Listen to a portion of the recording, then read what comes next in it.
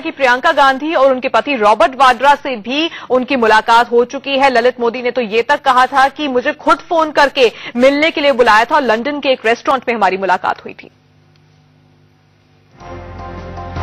ललित मोदी की मदद करने के मामले में सुषमा स्वराज और वसुंधरा राजे पर हमला कर रही कांग्रेस को ललित मोदी के ट्वीट ने मुश्किल में डाल दिया। ललित मोदी ने ट्वीट किया, गांधी परिवार से लंदन में मिलकर खुशी हुई थी। एक रेस्तरा में रॉबर्ट और प्रियंका से अलग अलग मिला था। वे टिम्मी सरना के साथ थे। उसके पास मेरा नंबर भी है। वो चाहे तो मुझे कॉल करे। मैं उन्हें बताऊँगा कि मैं उनके बारे में क्या सोचता हूँ।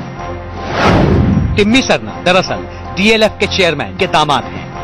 आपको बता दें कि डीएलएफ पर सेबी ने तीन साल तक शेयर बाज़ार में कारोबार पर रोक लगा दी है। अब सवाल ये है कि प्रतिबंधित कंपनी के मालिक के दामाद और ललित मोदी से एक साथ वाड्रा और प्रियंका ने मुलाकात क्यों की?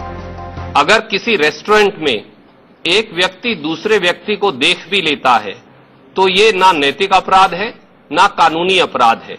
ललित मोदी और भारतीय जनता पार्टी, क्योंकि अब तथ्य और सच्चाई, जमीनी सच्चाई और हकीकत सामने है तो फरेब, आडंबर और झूठ का सहारा लेकर भारतीय जनता पार्टी अपने मंत्रियों का इस्तीफा करवाने की बजाय इस प्रकार की बचकाना बातें कर रही है हम उनको सिरे से खारिज करते हैं। कांग्रेस की इस सफ़ाई के बावजूद बीजेपी को पलटवार का मौका मिल गया है।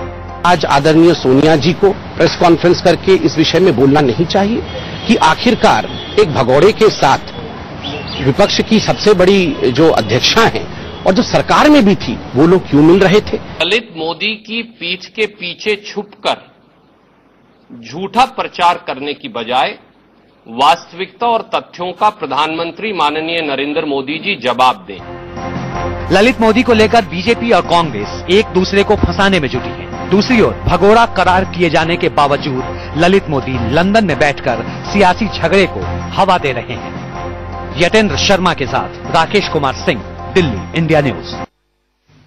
तो एक एक करके ललित बम फूट रहे हैं और तमाम जो पार्टियाँ हैं उनकी मुसीबतें खड़ी हो रही हैं। पहले बीजेपी और अब कांग्रेस।